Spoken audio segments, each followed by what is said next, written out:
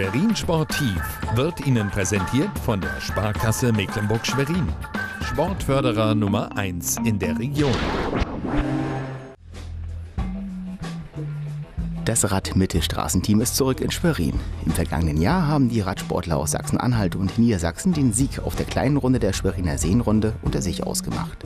Auch bei der zweiten Ausgabe des größten Jedermann-Radrennens in der Region ist das Rad-Mitte-Straßenteam mit dabei ja, auf jeden Fall vorne dabei sein, äh, im Zielsprint äh, mit gegenzuhalten. Und äh, ich fahre die kleine Runde, die anderen Jungs fahren die große Runde, weil ich dies Jahr nicht so viel trainieren konnte. Aber mal gucken, was geht, ja.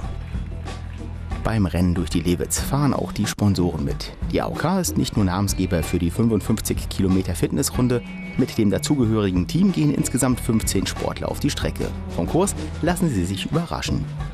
Sonst hatten wir mal einen Rundkurs und diesmal fährt man mit den 55ern zusammen wohl offenbar zwei Kreise. Aber besseres Wetter können wir nicht haben. Wir haben fast keinen Wind. Ähm, sind ziemlich viele Meldungen eingegangen und wir lassen uns überraschen. Gestartet wurde wieder vor perfekter Kulisse. Am Schloss ging es los, allerdings nicht so richtig. Aus organisatorischen Gründen musste diesmal eine neutralisierte Zone vom Alten Garten nach Neuzittendorf eingerichtet werden. Wir haben leider dieses Jahr keine, keine andere Ausfahrtsstrecke bekommen. Deshalb haben wir uns dafür geeinigt, okay, über den Franzosenweg, Bosselmannstraßen, Höhe Feuerwehrmuseum rauszufahren. Aber ab da ist dann Vollsperrung. Das heißt, die Radsportler haben die komplette Breite und können dementsprechend ihr Rennen sehr, sehr gut fahren. Gut 270 Fahrerinnen und Fahrer gingen auf die kleine Runde. Immerhin noch 55 Kilometer durch die Natur. Mehr als 250 Sportler taten sich den langen Kanten an. 91 Kilometer hatten sie am Ende auf dem Tacho.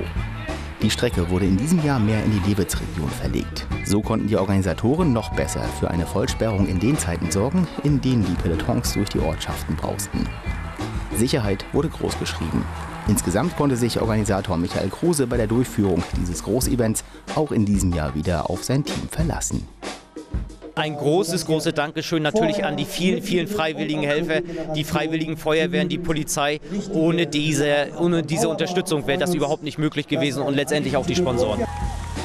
Zielankunft der großen Runde auf Höhe des Feuerwehrmuseums. Sieger wurde mit Ex-Junioren-Europameister Daniel Rackwitz ein Lokalmatador. Ibrahim Ibrahim vom Radmitte Straßenteam kam an der Spitze des Hauptfeldes als Fünfter ins Ziel. Für den Vorjahreszweiten Dennis Rössel hat es auf der kleinen Schleife diesmal zu Platz 10 gereicht. In seiner Altersklasse immerhin auch der zweite Rang. Nicht ganz zufrieden, aber ausgepowert und gut im Ziel angekommen. Nur den Zieleinlauf vom letzten Jahr hat er vermisst. Das Ziel war hier direkt vorm Schloss in Schwerin. Das ist das, was der Radsportler liebt. Ein Ziel außerhalb ist unattraktiv, es sind keine Zuschauer da.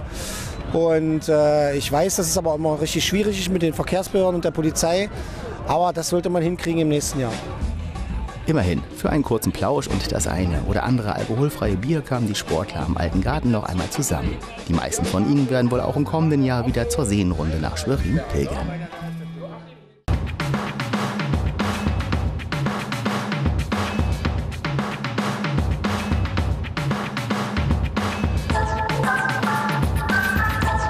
Schwerin Sportiv wird Ihnen präsentiert von der Sparkasse Mecklenburg-Schwerin. Sportförderer Nummer 1 in der Region.